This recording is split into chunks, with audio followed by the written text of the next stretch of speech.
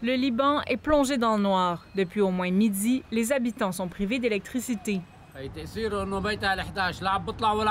Un problème de taille pour ce citoyen qui habite au 11e étage de son immeuble.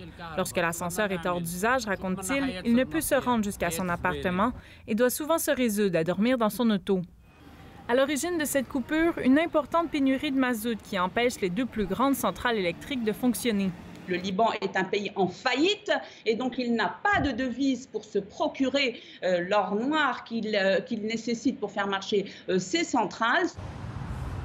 Depuis des mois, le pays connaît des rationnements d'électricité draconiens.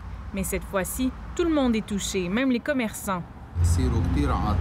La coupure est mauvaise sur tous les fronts, disent propriétaires d'un magasin. Elle nous empêche d'obtenir ou d'utiliser les outils dont nous avons besoin pour travailler c'est que les services privés qui fournissent normalement l'électricité à leurs abonnés en cas de panne sont eux aussi à court. Le gouvernement libanais, formé il y a quelques semaines, a indiqué que l'électricité ne serait pas de retour avant lundi au plus tôt.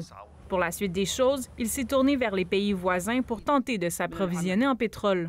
L'Irak a déjà promis d'en distribuer en échange de services médicaux.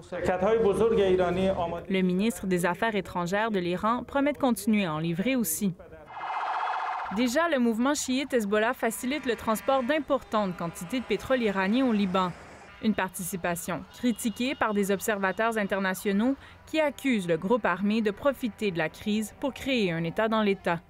Ici Alexandre Bélil, Radio-Canada, Montréal.